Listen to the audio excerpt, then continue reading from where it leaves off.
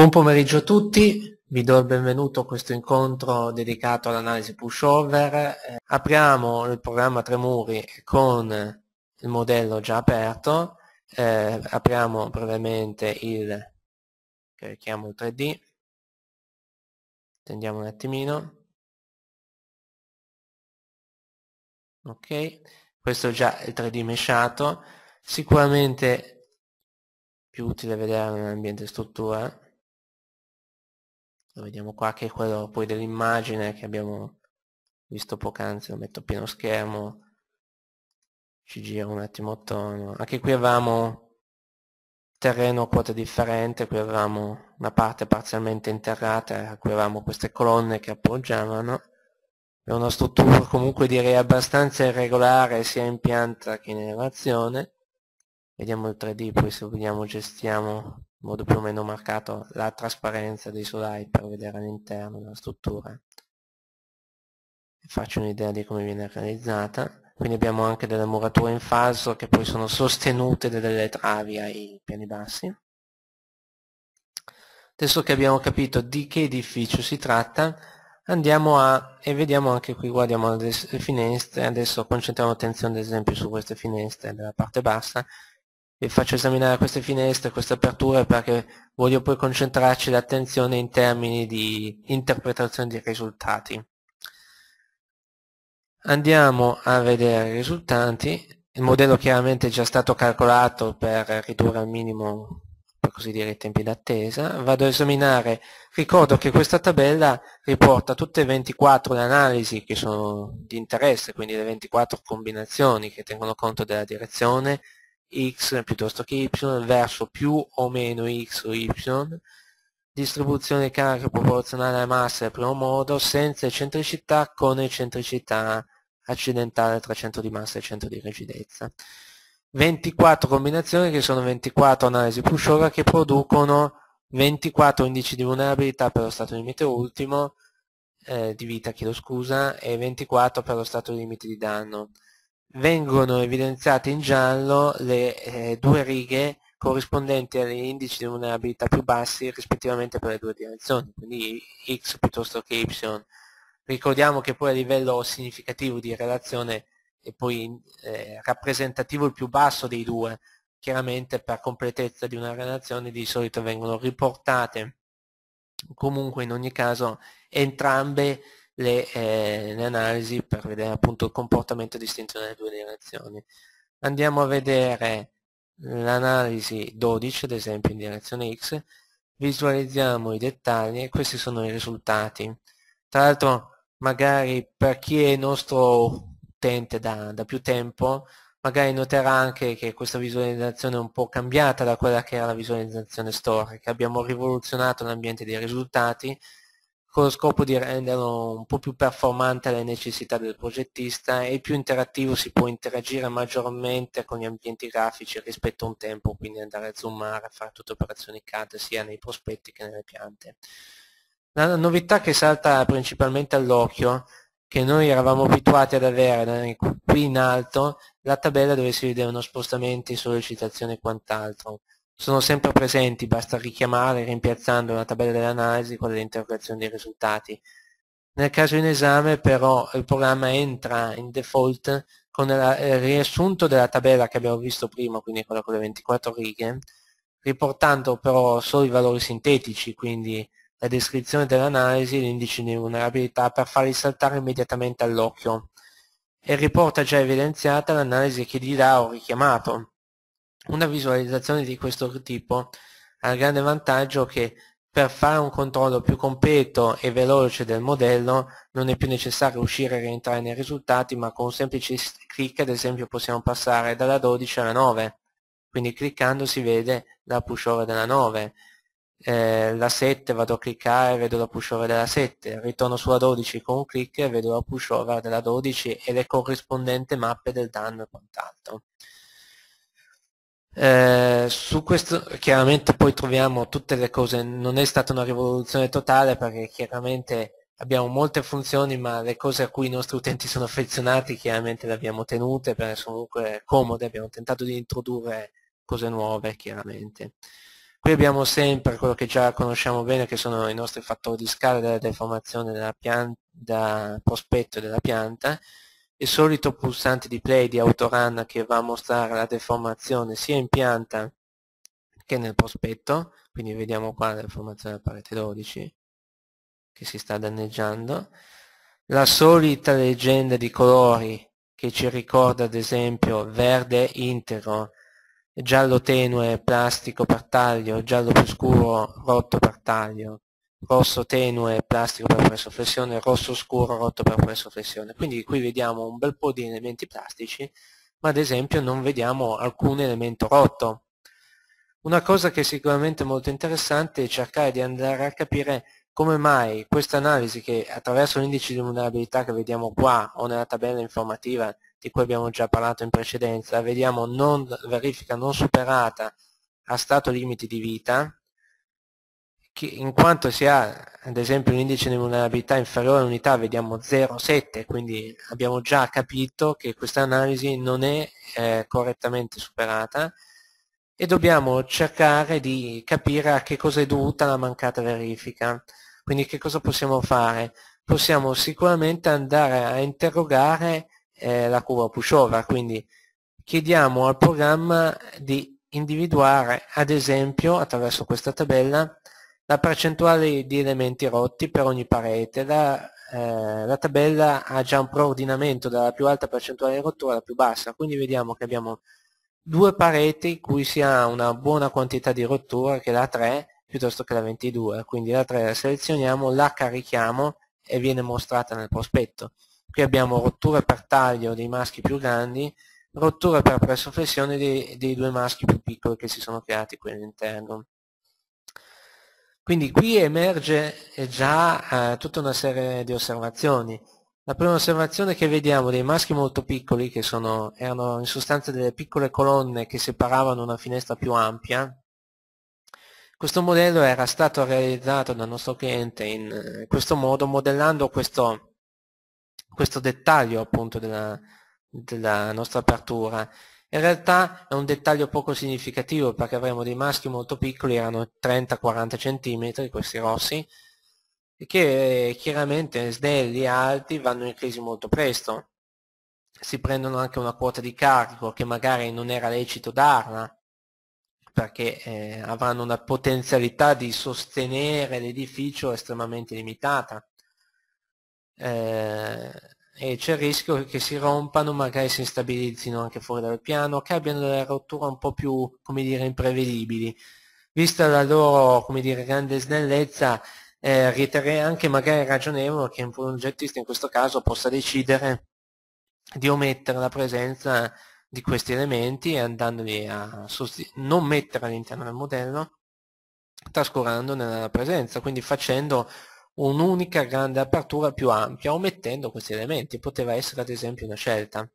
Ricordiamo ad esempio questa parete qua con questo danno viene localizzata e viene evidenziata nel cassetto nella pianta, qui zoomiamo, vediamo la parte in cassetto, questa parte qua, tant'è vero per come era fatta la struttura, vediamo anche un leggero, qui c'è un fattore di scala deformativo non indifferente,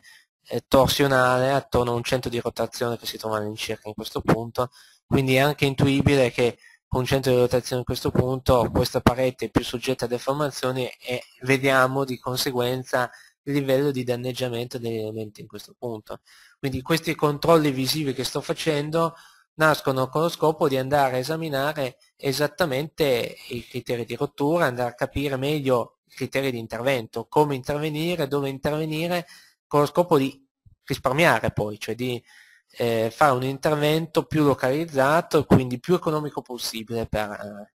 per il nostro committente. Quindi andiamo a vedere la rottura, vediamo rotti questi elementi, l'altra parete che, su cui richiamava l'attenzione era la 22, vediamo qual è, questa qua in cui si rompe per taglio questo maschio centrale dove si trova, lo vediamo anche qua in cassetto, in questa porzione della nostra pianta dell'edificio. Quindi tutti elementi su cui intervenire. Un'altra cosa che molto spesso è utile nella scelta, quindi sto isolando degli elementi, questo maschio è un potenziale elemento su cui intervenire. Tornando nella parete 3,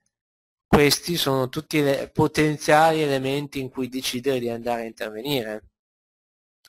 Un'altra cosa che sicuramente è indubbiamente molto interessante è il concetto di andare a individuare eh,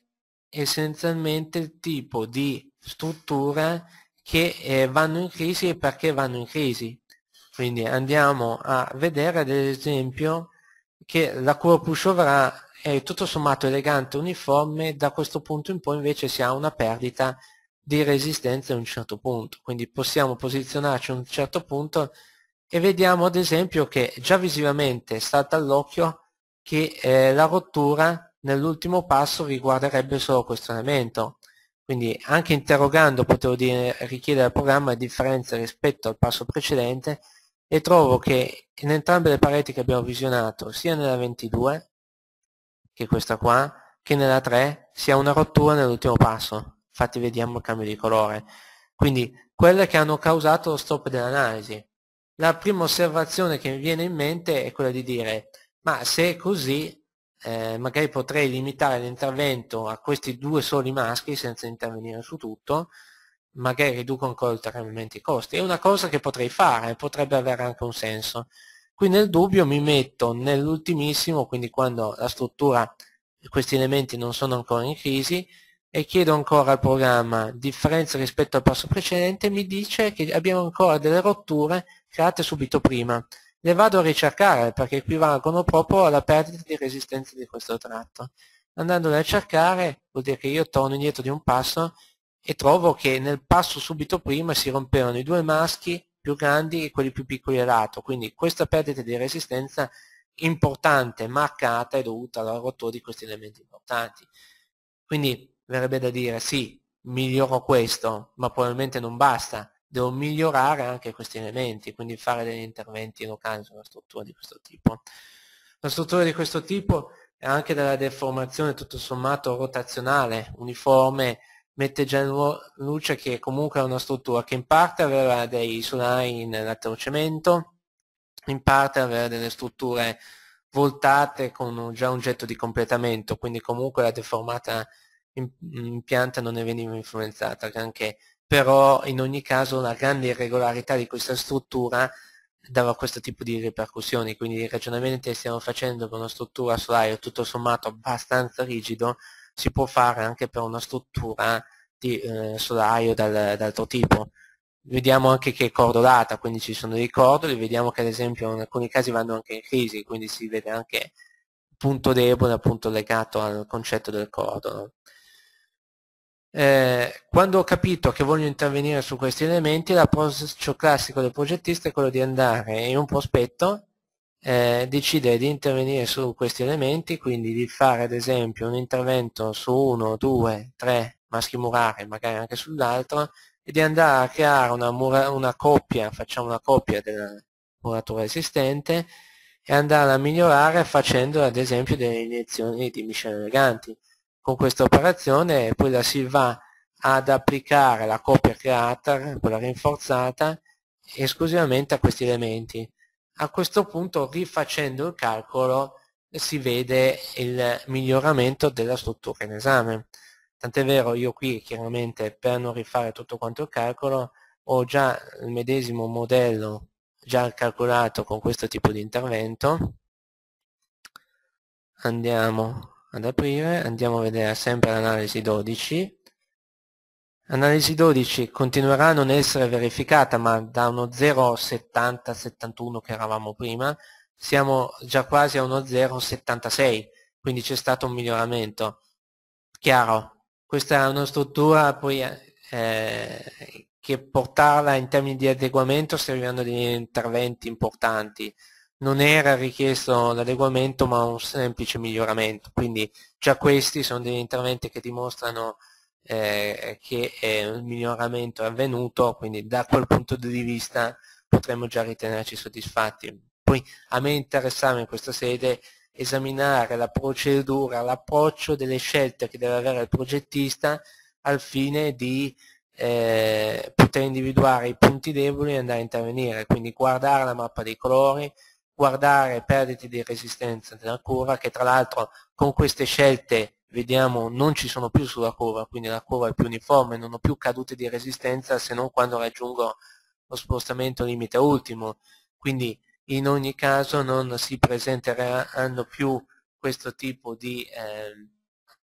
eh, meccaniche di rottura che ne vanno a influenzare malamente la curva e dovrò andare a vedere altri tipi di danneggiamento sulla struttura, però essenzialmente ci dà l'indicazione che un approccio ottimo è guardare le formazioni, guardare il danno sulla nostra struttura, quindi andare alla ricerca delle, eh, del tipo di danno, del taglio presso flessione, dove avvengono, su quanti elementi influenzano, magari farci aiutare dalla forma della curva, del, del decadimento quant'altro per riuscire a individuare meglio il danneggiamento nella struttura. Tant'è vero che, ad esempio, prendiamo la famosa parete 3 che anche se la cerchiamo sulla pianta si trova in corrispondenza di questo punto, andiamo a cliccare. Ecco, ad esempio, questa è una delle funzioni nuove di questa versione, cioè posso andare nella pianta e cliccare sulle varie pareti direttamente sulla pianta, le pareti vengono caricate nel prospetto posizionarci un qualsiasi passo intermedio, anche qui possiamo ora cliccare direttamente sul diagramma per andare a vedere lo stato di danneggiamento e di deformazione sul prospetto che ho scelto della pianta, ad esempio spostandoci nell'ultimo passo, andare a vedere le rotture. L'ultimissima rottura riguarderà di nuovo tutti questi elementi alla base, non li ho rinforzati a sufficienza, però rispetto a prima vedo già che si rompono tutti insieme e si rompono dopo rispetto a prima, quindi già una parte del nostro obiettivo è stato raggiunto. Cliccando sulla curva è molto più semplice perché riesco esattamente a richiedere un punto di cui vorrei sapere maggiori informazioni. Tra l'altro anche qua vengono riportati i valori più precisi di spostamento per ogni passo, posso sempre usare le frecce in basso per andare a interrogare un singolo passo della curva, posso anche usare la finestra proprietà che si attiva sulla destra in cui vengono riportate le coordinate, la tabella delle coordinate, cliccando su una riga faccio spostare la visualizzazione a quel passo corrispondente e a quella corrispondente mappa del danno, quindi un'interpretazione decisamente più accurata del modello che andiamo a esaminare nella nostra struttura. Quindi abbiamo visto per questa struttura tutta la fase che è l'interpretazione dei risultati, la perdita di resistenza e la scelta degli elementi su cui andare a intervenire. Passiamo a un altro edificio. In prima abbiamo visto un intervento in cui il progettista magari sceglie di fare delle iniezioni di malta con lo scopo di migliorare la muratura. Qui si propone un altro tipo di intervento che sono l'inserimento di fibro rinforzati eh, qui vediamo un edificio, l'intervento adottato per questo edificio è stata la scelta di fare interventi con fibre sull'intera struttura, quindi un intervento decisamente impegnativo sia a livello pratico che economico, diciamo per così dire. Le fibre però avevano uno scopo mirato di rinforzare prevalentemente i maschi, cioè non andavano a costituire armature sulle fasce, quindi sui sopra e sotto finestra, ma interessavano prevalentemente i maschi della nostra struttura. Senza rinforzo abbiamo un indice di vulnerabilità di 0,72, con il rinforzo totale siamo arrivati a 1,12, quindi dal non verificato al verificato. Andiamo avanti nella presentazione, vediamo qui uno straccio della tabella con la percentuale di rottura degli elementi, la mappa ad esempio di una parete importante della nostra struttura, prima del rinforzo, dopo il rinforzo.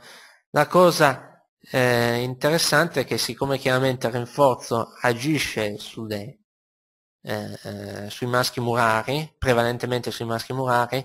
la rottura non è che viene eliminata ma viene spostata perché rinforzando questi elementi la rottura viene spostata su delle fasce. Infatti vediamo queste fasce che sono andate in crisi. Quindi in questo caso prima del rinforzo avevamo una rottura solo al piano basso due rotture di due elementi. E dopo il rinforzo abbiamo le rotture di mhmm, più nessun maschio, ma di praticamente quasi tutte le fasce della nostra struttura. Quindi abbiamo spostato la rottura a un altro punto, che in questo caso, data magari l'importanza di uno o più maschi, non, non può che dare un uh, beneficio perché hanno maschi sicuramente molto importanti. E l'intervento invasivo in questo caso su tutti gli elementi ha fatto sì che eh, il primo elemento che riuscivo a trovare libero per potersi rompere erano essenzialmente le fasce della struttura. Un'altra parete che è stata esaminata è ad esempio questa qua, in cui eh, senza rinforzo avevamo una rottura del 100%, questo è rotto per taglio, dopo il rinforzo la rottura non c'era. Le due pareti, queste, queste pareti qua si trovano nella sua planimetria in questa posizione, quest'altro caso si trovano su quest'altro lato più piccolo, nella parte posteriore, quindi da una rottura totale ad avere i maschi murari praticamente totalmente salvi. Quello che si vede da un punto di vista pratico all'interno della progettazione è che guardando la pushover, questo è dopo il rinforzo, questo è prima del rinforzo, è stato messo un indicatore, è stata scattata la foto in termini di spostamento, cioè è stato letto lo spostamento prima dell'intervento, è stato messo un indicatore e mostrato il diagramma esattamente nello stesso punto. La prima cosa che mi interessava al di là del diagramma che attira sicuramente l'attenzione in quanto si ha un cambio di, di danno e di comportamento delle, delle rotture degli elementi da uno stato piuttosto che all'altro, sicuramente la cosa che inter mi interessava particolarmente è la forma della curva, che tranne un fattore di scala per l'asse delle x, che chiaramente c'è un po' di distorsione, abbiamo tutta una storia di spostamento utile che è questo tratto finale in più rispetto all'edificio senza intervento. Tant'è vero che questa era l'offerta di spostamento della struttura, non, non, si percepiva nemmeno la linea verticale della domanda, invece questa è la domanda e questa è l'offerta in quest'altro caso, quindi siamo passati dall'edificio non verificato a edificio eh, verificato. Poi in generale, per così dire, come intervento non è che io voglia consigliare, anzi, eh, ben distante dalle mie intenzioni, di consigliare un intervento per così dire invasivo su tutta quanta la struttura. Eh, io consiglio sempre di fare un intervento mirato anche perché magari eh, farlo così invasivo eh, ha portato a intervenire su elementi che non ne avevano assolutamente bisogno, elementi che non ce n'era la necessità o magari hanno addirittura rallentato la fase di miglioramento perché magari rinforzare un elemento che è già rigido in certi punti eh, può creare un centro di rotazione attorno a quel punto per cui eh, va a deformarsi molto altre pareti che sono più deformabili, di conseguenza causando delle rotture anticipate. Quindi in realtà bisognerebbe arrivarci a passi a questa soluzione, questa è stata fatta estrema, questa voleva proprio essere una soluzione, un esame del comportamento tra un edificio senza rinforzo e con il rinforzo. Anche perché essenzialmente il miglioramento non è tanto quanto poi la struttura aumenta in termini di rigidezza, perché la rottura poi non è in termini di rigidezza, tant'è vero che questa struttura è plastica quanto questa, forse addirittura di più nello stesso passo. Eh, il discorso è un altro, che ricordiamoci che in termini normativi la differenza sostanziale eh, tra questi due approcci che questa si intende una muratura armata, perché le fibre essenzialmente sono una muratura armata, le murature armate rispetto alle murature ordinarie da un punto di vista normativo hanno una capacità d'utile maggiore per la norma, quindi già la capacità d'utile di spostamento ultimo è più alta rispetto alla muratura ordinaria, a prescindere. Di conseguenza già lì il margine di utilità che insita nel legame descritto nella normativa si vede, si ripercuote direttamente sulla curva pushover che vediamo qua. Quasi terminato, solo più un, un, ultimo concetto, che è il concetto delle strutture miste. Le fibre l'hanno introdotto nel rendere misto, ma soprattutto vorrei parlare di quello in cemento armato, dove sale la, cemento, la percentuale di cemento armato, diminuisce la percentuale delle, della muratura sulla struttura. Eh, normativamente non esiste una chiara eh, prescrizione per eh, individuare approcci di calcolo differenti per una struttura piuttosto che l'altra. Predominante eh, la normativa chiarifica in modo abbastanza univoco che le prescrizioni di verifica, questo tipo di analisi, devono seguire quelle dell'elemento strutturale predominante, quindi se c'è più muratura, a livello comportamentale è giusto usare altre mura e fare un'analisi pushover per le murature. Se c'è tanto cemento armato, magari un software come il nostro Access VM per il cemento armato potrebbe essere più idoneo una pushover per il cemento armato o l'analisi comunque per il cemento armato in quanto è quello predominante. Il problema è che la normativa non dà un chiaro soglie di confine quando è predominante uno e quando è predominante l'altro. Molto spesso addirittura il paradosso è che ci rendiamo solo conto quanto è predominante uno rispetto all'altro dopo averlo calcolato. Cioè quando ho fatto un calcolo pushover di un edificio in muratura con molto cemento armato mi rendo conto che sta lavorando prevalentemente il cemento armato e la muratura è quasi totalmente integra. Per fortuna, ad esempio, il Tremuri, proprio per sopperire a questa, tra virgolette, carenza normativa, ha, ha implementato all'interno delle, eh, delle scelte eh, di interrogazione, di modellazione, dell'interpretazione del risultato un po' più evolute. Ad esempio, se noi guardiamo, questa è una curva pushover di un edificio misto, muratura e cemento armato. La cosa particolare è che la curva è uniforme, elegante fino a questo punto, poi un improvviso salto e poi di una ripresa uniforme, con questo sullo spostamento ultimo. Questo spostamento ultimo è all'incirca quasi il doppio dello spostamento ultimo in quest'altro punto. La conseguenza da questa osservazione qual è? Che passiamo dal doppio alla metà a esaminare un punto e l'altro. Quando andiamo a vedere con gli stessi strumenti che abbiamo visto, andiamo a interrogare questo punto preciso, che cosa succede in questo punto? Ma eh, guardando le deformate ci rendiamo conto che in realtà si ha eh, che fino a questo punto sta lavorando quasi essenzialmente il cemento armato, la muratura non ha ancora funzionato. Quindi noi cosa facciamo? In alcuni casi vediamo se la perdita di resistenza scende sotto quel famoso 20% di cui parla la normativa. Se di lì in poi si ha una ripresa è perché magari si è rotta tutto il cemento armato per cui non ha senso quel controllo del 20% e quindi noi continuiamo, a monitorare la curva e vedere se si ha un'effettiva ripresa per poi avere una rottura posteriore, perché qui può aver lavorato il cemento armato, io sto facendo la pushover con le prescrizioni per le murature su una struttura in cemento armato, quindi devo lasciare che ci sia una caduta per esaminarne poi la ripresa. Questo è il concetto che volevo portare all'attenzione. Diciamo che purtroppo questi, eh, questi concetti eh, accettano sempre tutta una serie di ripercussioni e osservazioni differenti e da dire ce ne sarebbe tanto. Come al solito poi mi sono fatto prendere dal discorso, dal parlare e quant'altro, però essenzialmente con questo direi che ho concluso essenzialmente la mia presentazione. Vi ringrazio per l'attenzione, arrivederci, buona serata, al prossimo incontro.